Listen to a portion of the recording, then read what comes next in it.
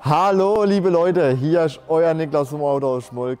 Wie ihr seht, sind wir heute wieder richtig mobil unterwegs, denn der neue Tretroller von Mercedes-Benz ist da und den möchten wir euch vorstellen.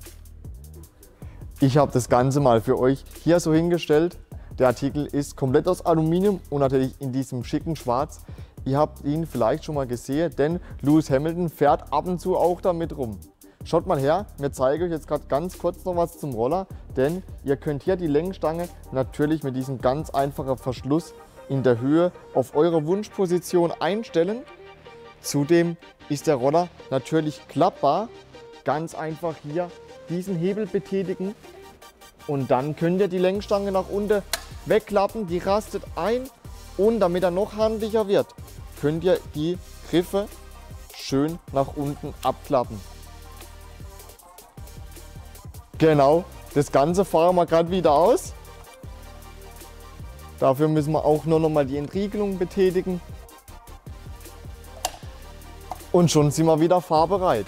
Natürlich ist der Roller zum Fahren da. Was hier auch wirklich sehr toll ist, sind diese Gummimanschetten am Lenker. Die haben wirklich einen ganz tollen Griff und einen super Halt. Das gleiche gilt natürlich hier für das Trittbrett, das mit dem Mercedes-Benz-Schriftzug verziert ist und uns einen ganz sicheren Stand bietet.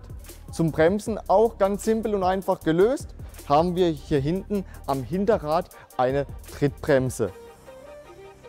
Als echtes Highlight haben wir natürlich auch wieder hier den Mercedes-Stern in Chrom vorne drauf. Ich hatte schon die Ehre und durfte ein paar Proberunden damit drehen. Das macht wirklich ganz viel Spaß. Was sofort auffällt, die schönen großen Räder mit Kugelladerer, wie einfach sich das Ganze bewegt und wie wenig Kraft man eigentlich dafür wirklich braucht. Das macht wirklich Spaß. Wir haben für euch dieses Modell und wie ihr im Hintergrund vielleicht schon bemerkt habt, wir haben wieder einen E-Scooter bei uns im Hause für euch. Beide sind für euch zur Probefahrt bereit. Also schaut vorbei, ich kann es wirklich nur empfehlen.